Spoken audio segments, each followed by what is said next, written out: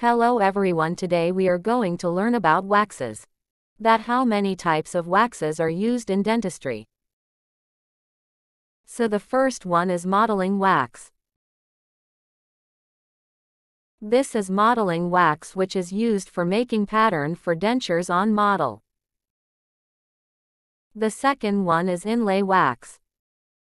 The inlay wax is used for making crowns, veneers, inlays and bridges on models or may be direct into the oral cavity of patients. This inlay wax is specifically used for sprue during casting process. The third one is sticky wax.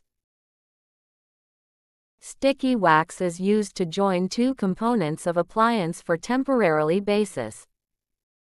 The fourth one is boxing wax. This wax is used to make a wall or a box around the impression, which makes the pouring process easier. The last one is carding wax. On this wax the artificial teeth are fixed, when received from the manufacturer. Thanks for watching this video, hope this will be helpful to you. Make sure to subscribe the channel.